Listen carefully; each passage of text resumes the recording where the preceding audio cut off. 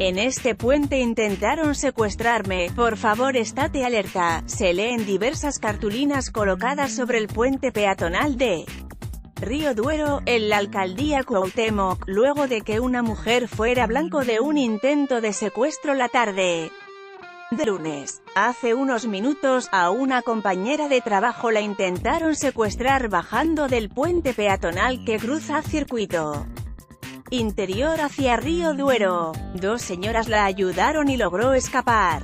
Quien la sujetó e intentó secuestrarla fue un hombre que iba detrás de ella en el puente peatonal. Iba de azul y no iba mal vestido. Al bajar fue cuando la atacó, escribió en Twitter el usuario arroba Bermorrenov, insegura.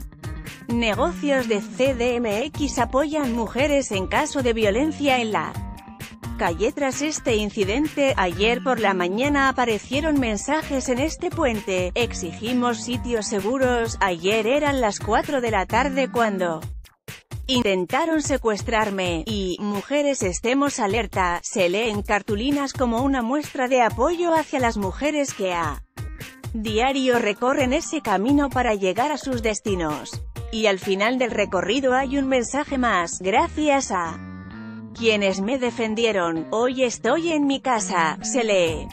Locatarios cercanos al punto fueron quienes evitaron la violencia en la zona, con otros mensajes en los que abren sus puertas para auxiliar en caso necesario.